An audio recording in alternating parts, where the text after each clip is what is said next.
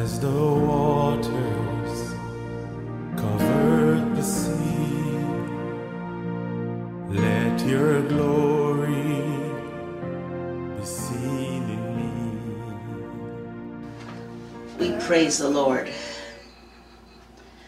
We praise the Lord today with praise and prayer and thanksgiving.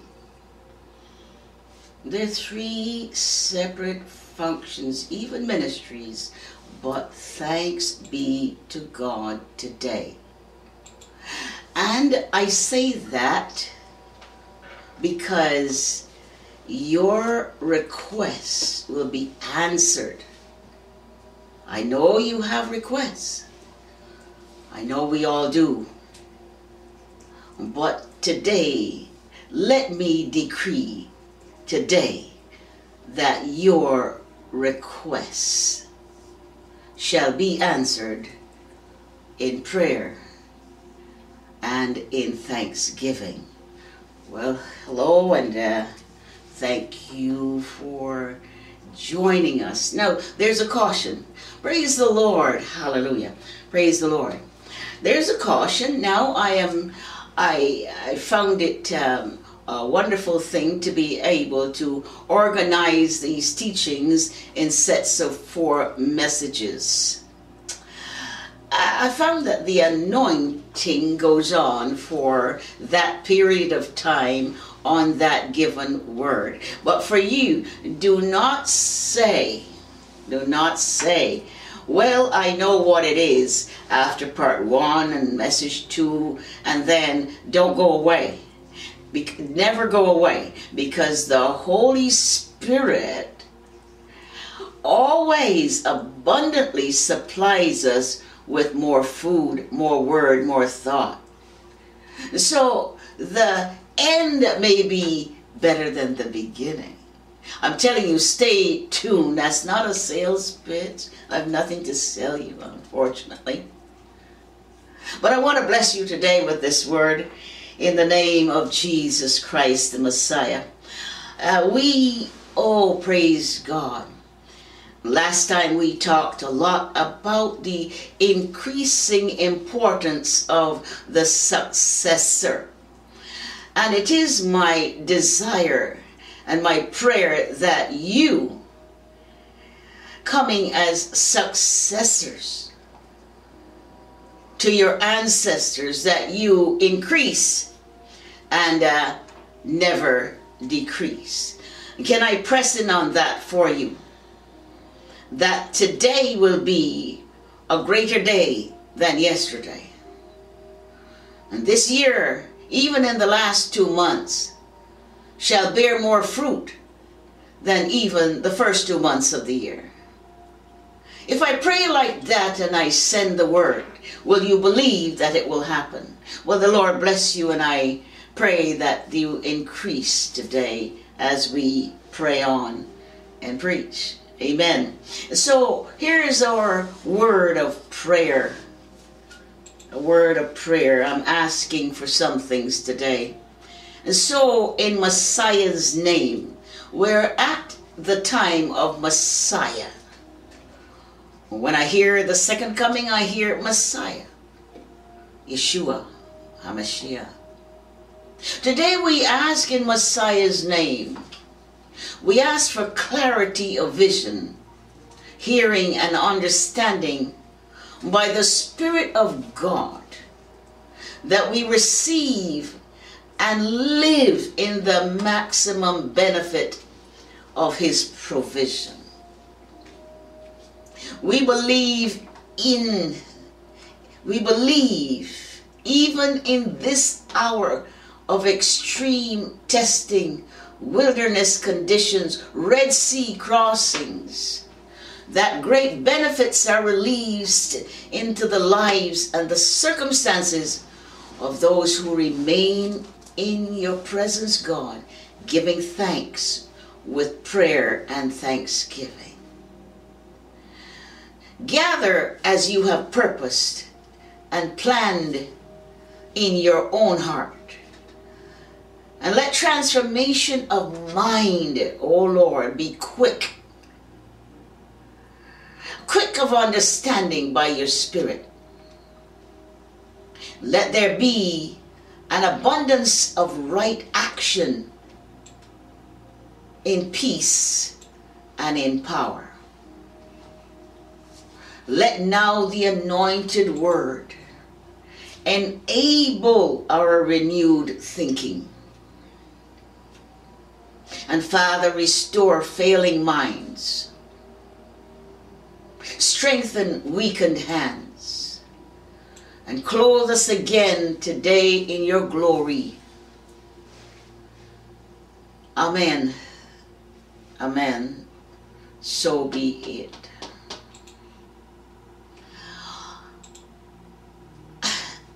The transformation of the mind is paramount, is most important. Uh, but I, I want to say one thing about uh, being transformed in your mind. That's not what the message is about. But even as we preach, it will happen. But the, what it is, is that we talk about the transformation of your mind. But in each truth that we present to you and each truth that you receive in the Spirit, in that truth, let your mind be transformed. Now, that was revealed to me last week, and I began to speak it. And the revealed word always makes more sense each time you speak it. It is awesome. So let your mind today be renewed in the hearing of this word. For whatever is in this word today, you shall receive. Whatever anointing, whatever clothing, whatever power, whatever encouragement, whatever strength, whatever this message has been received in and proceeds out to you, be clothed in that thing by Christ Jesus. I say it again be clothed in that power and in that anointing in which this word was conceived by the Holy Ghost, uh, released into my spirit, and I send the word to you today. In Jesus' name. Now, we, uh, hallelujah. Let us continue focusing on Christ Jesus. Let us con eh, he's the greatest yet. I'm going to help you out along that road here. As you continue focusing on Christ Jesus. Hallelujah. Paying careful attention to what he is doing, he's doing. These works and works of Christ Jesus have life giving power to come alive on the inside of you. Even as I speak, so be it, let it be so, that these words are springing forth uh, like living water out of you. Hallelujah. Hallelujah. Life giving words. And these then being seeds, these words then being seeds, must sprout and gray and bear much fruit. We praise the Lord. So here's something. Here's where we're going today. Praise the Lord. Well, not long ago, uh, actually uh, a week ago, a, um, a wonderful member of my church uh, asked me this question. Apostle, what exactly is sin? Now, you may say, I know what that is, but what is it? She said. I thanked her for the word. I looked back to the days of the 80s when we wrestled with sin, nature, and flesh. You heard a lot about the flesh in the 80s. People wrestling with the definition and the wisdom of what sin was. Uh, but, but now I remember clearly my pastor explaining that sin simply mean missing the mark. Amen. Missed the mark. But today, because of Christ Jesus, I understand the mission and the ministry of Jesus Christ and the Holy Spirit because of this understanding of what sin is. Now, I know that sin and the sin nature go together. We have it, we've had it. For the purposes of this dialogue today, then we say that sin is the manifestation of all and everything that separates you from God and from the knowledge of God. That's what it is. I'm speaking of this, putting two ideas together the power of Christ to remove it, and the profoundness of what it is. Now, if it took Christ to remove it, you've got to know that sin is a huge deal. There's nothing for you to pass over. I'm going to carry on a little bit. I said it took Jesus Christ to remove it. What is crucial here for you today is to know that repentance and forgiveness work together. After you repent, of course, forgiveness is laid up for you, it's ready, available. You just have to ask for it. But though you repent, and uh, folks repent time and time again, you know, some do every week, every day. The root of sin in Genesis, there's a, it's right there. The root of sin in Genesis is called the knowledge of good and evil, which we believe remains until it is removed. And the account is found in Genesis chapter 2, verse 11. Now, just hold on to that thought for a minute. Let this word then witness to you deeply today where it truly matters that you may understand the purpose of your calling in Christ Jesus. You see, Christ Jesus is sending forth a brilliant light into your situation today. He's, uh, hallelujah, putting light upon darkness so that your hearts and your eyes be opened. Even now we praise the Lord. And there's a new covenant light, if you will, is a new covenant light streaming across the land, but uh, we have not come to terms with the fact that the new covenant light is blasting across the universe.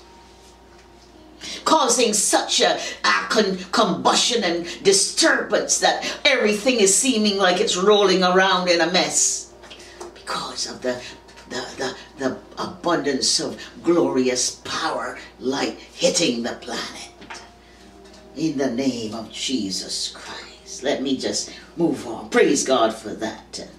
So, looking back then into the Old Covenant, the law with all its statutes, ordinances, commands, and decrees was put into effect by God through Moses to manage sin, to control sin, and to keep it in check. You'll hear that. Now, let me confess to you today that the knowledge and the power of good and evil cannot be managed, controlled, or kept in check. I confess to you ah, that Christ Jesus, the greater one, was sent as the only one with the power and the authority to remove sin. to cancel its long term and damaging effects upon the soul. Ah. I am not sent. I know my message.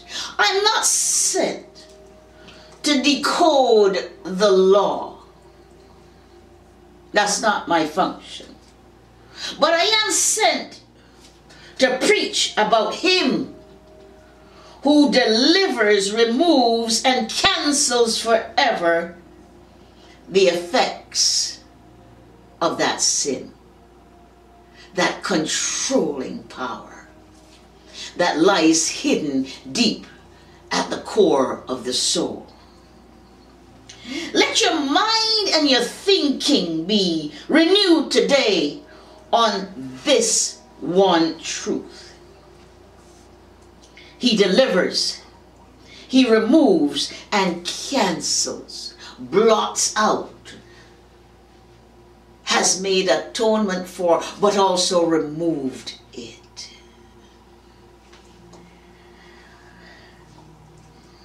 After the successful completion of what we know to be 40 days in the wilderness,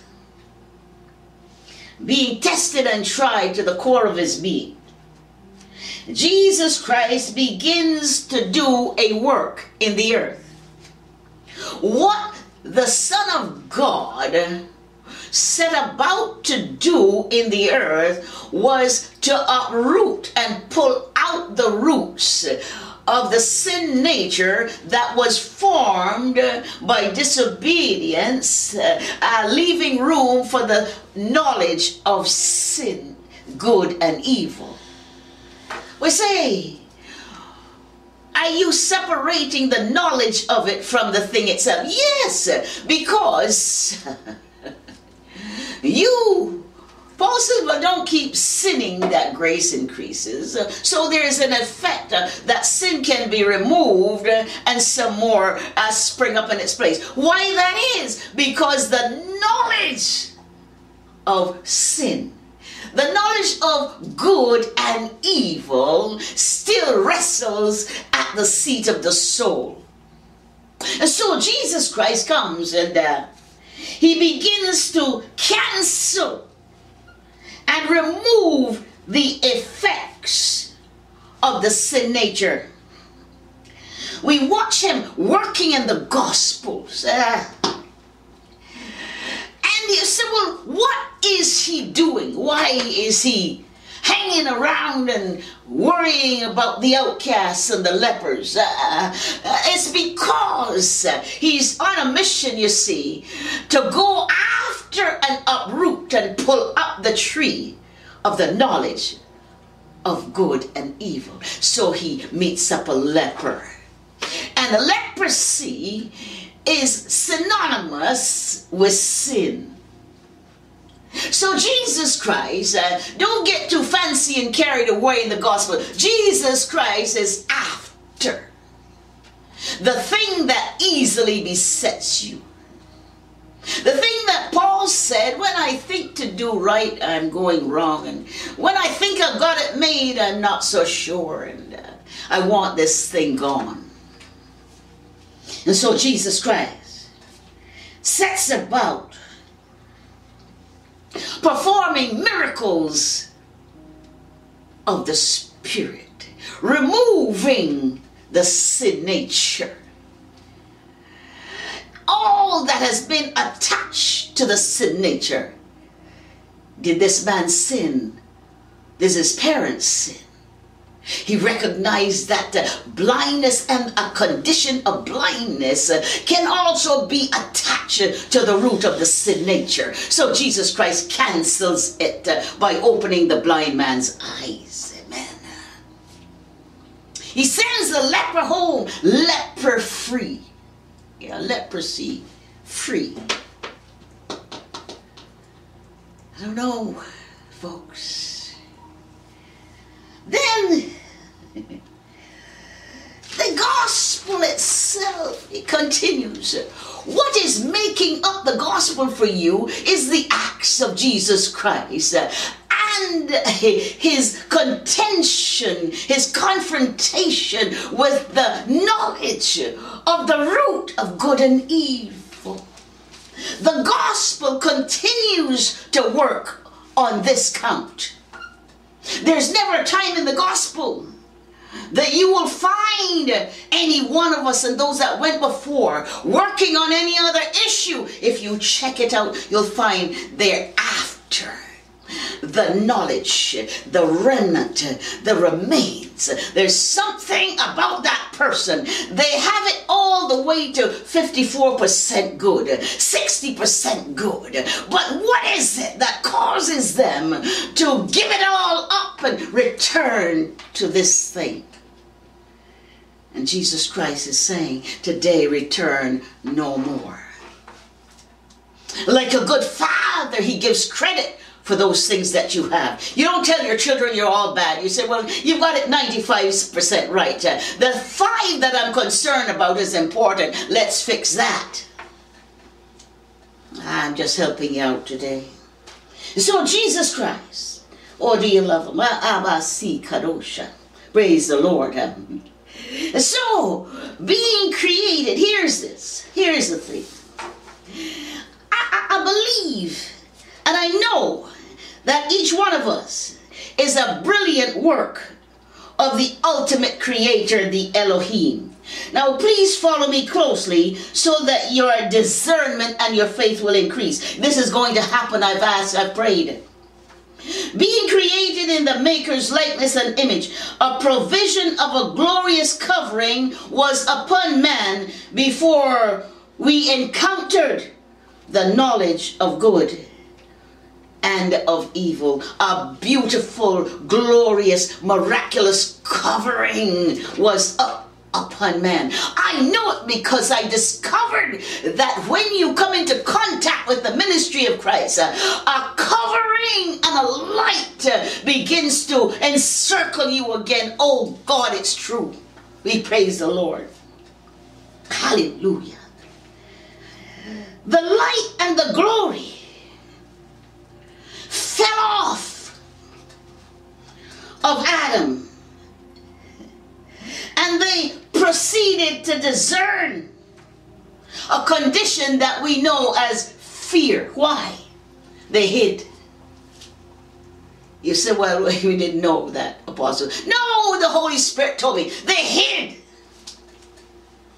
Then they began to cover themselves up in an artificial covering that was insufficient and it still is. Read Genesis chapter 1 and 2, go all the way to 3, and Genesis is intriguing. Stay with it. Don't be afraid of it. Stay with the word. Hallelujah. Now then, we tried to fix it. I am telling you, you cannot cover it up. You, it will break out somewhere else. And God help us if in this hour of testing, everything that was hidden shall come to light. God is merciful when He exposes some things because He loves you and He wants it dealt with. Run to the Master. Hallelujah. Now then, oh, some time ago,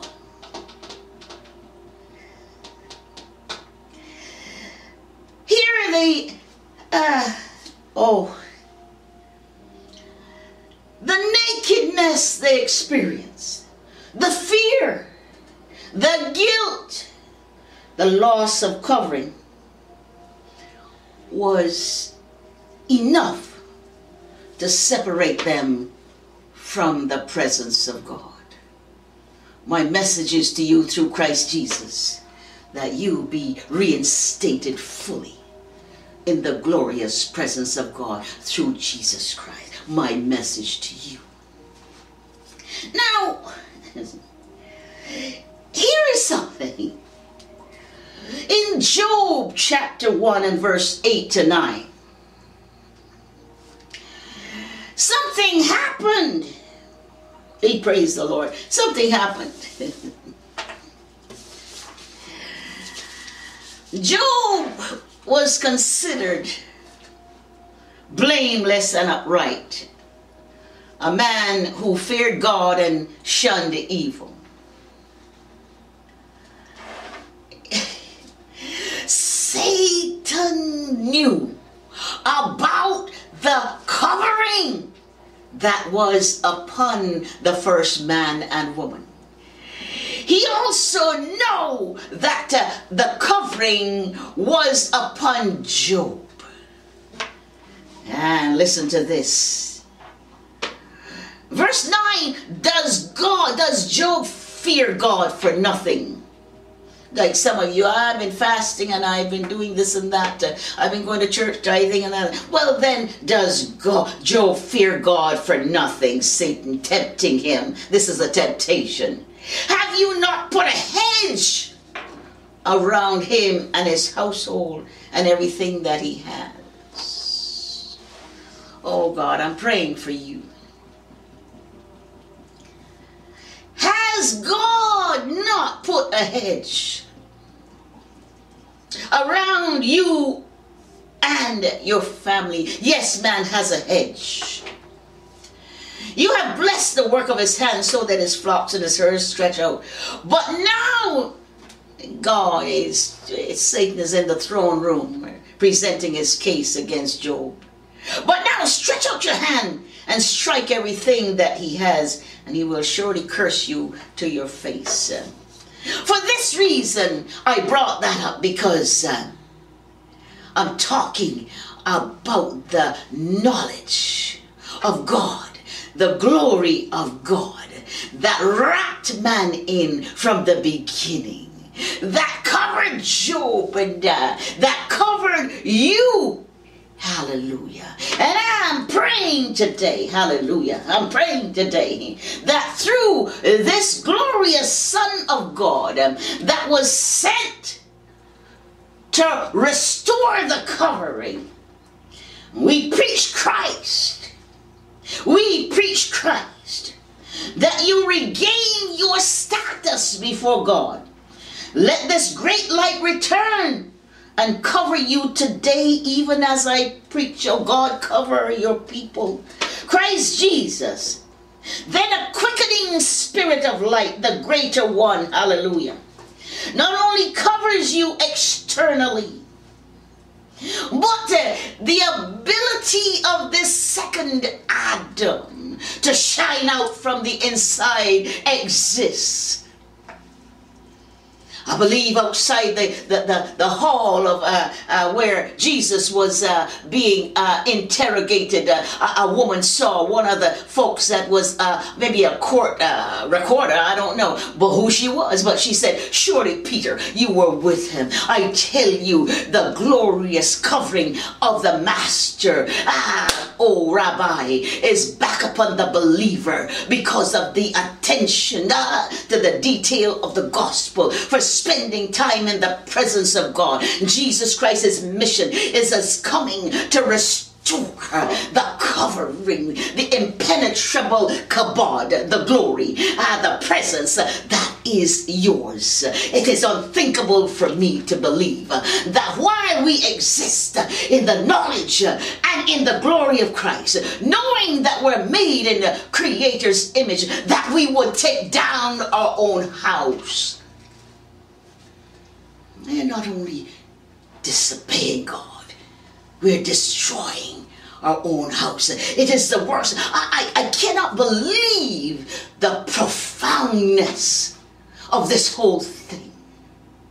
But what I can believe even more is that, oh, I'm going to tell you that Christ is greater than the covering that came off. And if I am permitted, I will preach and in the anointing and I will ask that uh, while I'm ministering that the garment, the covering returns. Believe it is spoken in Psalm 107. 107. I, I haven't seen it for a while, but I know it's there that he wraps himself in light as it were a garment. I'm going to put up the word for you. And so then, in the name of Jesus Christ, I pray today that you, as you ask, I repent, then Lord forgive, then reinstate. Don't stop. If I repent, forgive, Lord, then reinstate. I'm missing the glory and the covering. And so then, in deep humility, I ask. Now then, let the hedge be rebuilt, O Lord. Let their souls be healed and cleansed. And the glorious light from the streaming from the face of Christ illuminate them today for the purpose of returning intact the covering that was once there. Sin cannot be managed. It must be removed. The Lord bless you. Why? Increase in this truth. Be transformed in this truth today and live. The Lord bless you. I'll be back in a minute. Shalom.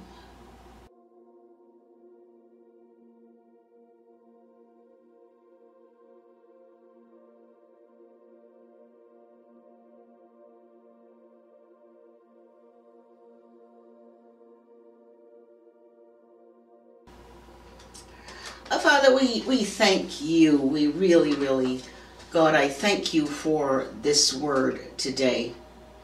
And I thank you for these messages. It is important that we know exactly the story of how we overcome.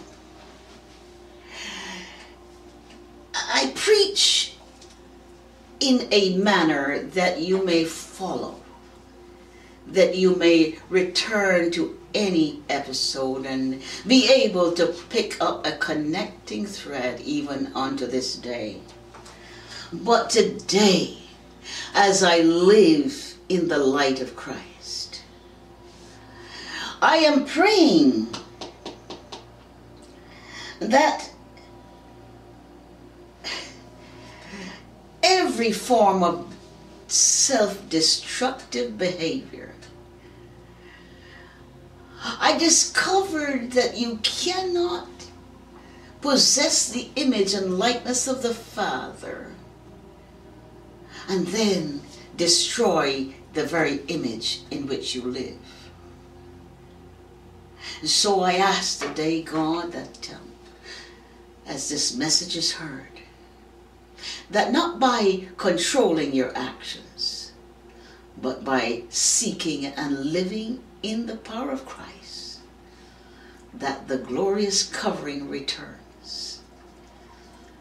You wake up a different man and a different woman. In his glorious presence, his nature. So be it. Amen. I'll be back next time. Shalom. Amen. You can reach Apostle Dr. Eurica Stewart via email at thebreakthrough at BethesdaMiracle.com, on her website at BethanyCovenantAlive.net. Use to contact us on Facebook at apostle.dr.e.stewart. Voice Over the Nations TV ministry is on every Sunday at 5 p.m. on YouTube and on Facebook. Thereafter, it's on the Bethany Covenant Alive.net website. You can also find it on YouTube. Search under Voice Over the Nations. Donate if you are in agreement with what the apostle is doing. Help the apostle to help you. Sow into her ministry and become a partner. Use the donate link on the Bethany Covenant Alive.net website. Prayer requests are available on the BethanyCovenantAlive.net website. Put the apostle to work for you. Share your prayer requests. She will pray for you and into your situations. Service. See the apostle live in action, preaching the now word of God every Sabbath. That's Saturday from noon till 3 p.m. at 89 Thornmount Drive, Unit 11, Scarborough, Ontario, Canada, near the corner of Morningside and Sheppard. If you are in agreement with helping the apostle to take her ministry to the nations, become a partner. Use the donate link on the Bethany BethanyCovenantAlive.net website. Podcasts, an intimate chat with Apostle Dr. Eurica Stewart, are available via BethanyCovenantAlive.net or you can search Eurica Stewart on Apple, Google, Spotify, Breaker, or Anchor. The Apostle releases a kingdom quote every day in English and Spanish. They are available on the BethanyCovenantAlive.net website or on Twitter and Instagram. Twitter is D-R-E-U-R-I-C-A. Instagram is dr.e.stewart. If you are in agreement with helping the Apostle bring a World Healing Day event, become a partner. Use the donate link on the BethanyCovenantAlive.net website.